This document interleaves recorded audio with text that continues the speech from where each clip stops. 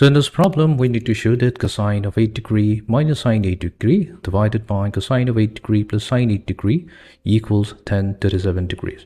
So we'll start our problem from the left hand side.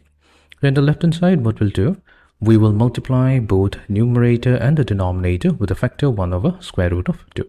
So we have 1 over square root of 2 multiplied to cosine 8 degree minus sine 8 degree and we'll also have to multiply it to the denominator. We have 1 over square root of 2 to it we're going to multiply cosine of 8 degrees plus sine of 8 degree. Then the question arises why we're multiplying with 1 over square root of 2 now this will become evident in a moment. So let's rewrite this as 1 over square root of 2 multiplied to cosine 8 degrees minus 1 over square root of 2 multiplied to sine 8 degrees. Whole divided by 1 over square root of 2 times cosine of 8 degrees plus 1 over square root of 2 multiplied to sine 8 degree. Now we know that sine 45 degree, this has got a value 1 over square root of 2 and this is also the value for cosine of 45 degree. So that means wherever we have 1 over square root of 2, we will replace it with either cosine 45 degree or cosine 45 degree. But there is a particular way in which we substitute the value. So for the numerator part, in the first term, we'll replace 1 over square root of 2 with sine 45 degree only. We'll not start with cosine 45 degree. This is also going to get evident in a moment. So multiply to cosine 8 degree minus, since we have already used sine, so we're going to use cosine 45 degree in place of 1 over square root of 2 in the second term of the numerator. To it, we are going to multiply sine 8 degree whole divided by sine, uh, now this time we're going to replace with cosine 45 degree multiplied to cosine 8 degree plus sine 45 degree times sine 8 degree. Now is the expression in the numerator and the denominator looking familiar? If not, then let me straight down to formulas. So let's say if we have sine A minus B.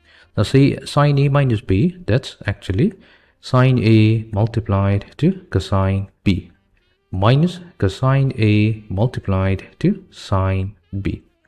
And here, if we consider, let's say A value that's equals to 45 degree and our B value that's equivalent to, uh, let's take it as 8 degree.